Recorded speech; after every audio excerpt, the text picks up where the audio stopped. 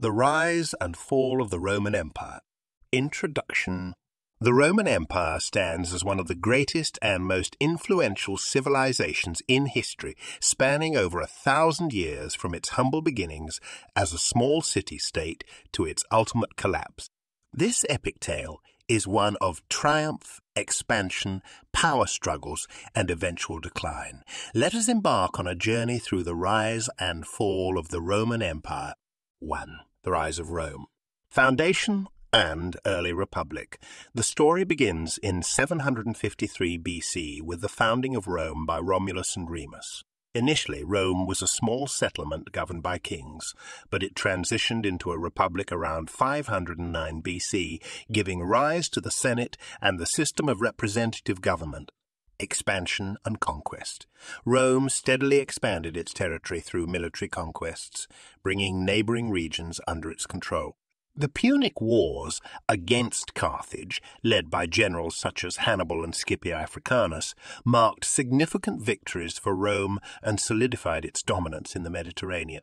2. The Golden Age of the Roman Empire the Julio-Claudian dynasty. With the ascension of Augustus as the first emperor in 27 BC, the Roman Empire entered a period of relative stability and prosperity. Augustus's reign was followed by the Julio-Claudian dynasty, which included emperors like Tiberius, Caligula, Claudius, and Nero. Pax Romana. Under the Pax Romana, Roman peace, which lasted from 27 BC to 180 C, the empire experienced unprecedented peace and economic growth.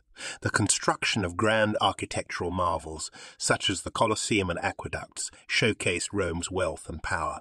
3. Decline and crisis, economic challenges. The expansion of the empire led to increased expenses and the decline of small farmers, contributing to economic inequality and social unrest. The reliance on slave labor and the depletion of resources also strained the economy, political instability. The third century C witnessed a period of internal strife, known as the Crisis of the Third Century. Frequent changes in leadership, civil wars, and invasions weakened the empire, leading to a lack of central authority. External threats. The Roman Empire faced mounting external pressures from Germanic tribes, the Persian Empire, and later the Huns. These invasions further stretched Rome's resources and eroded its military power. 4. Fall of the Roman Empire, division and fall of the West. In 285 C, Emperor Diocletian divided the empire into the Western and Eastern Roman empires, seeking to better administer the vast territories.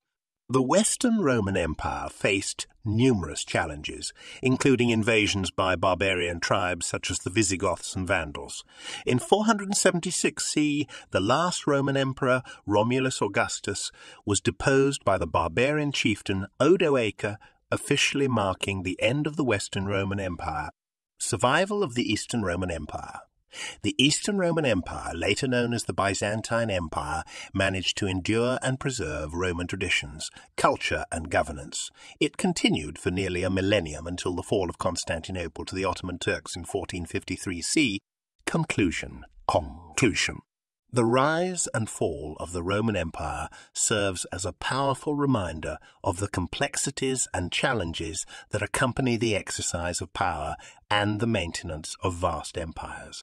From its early origins as a republic to its eventual demise, the Roman Empire left an indelible mark on history, shaping art, literature, law, language, and governance for centuries to come.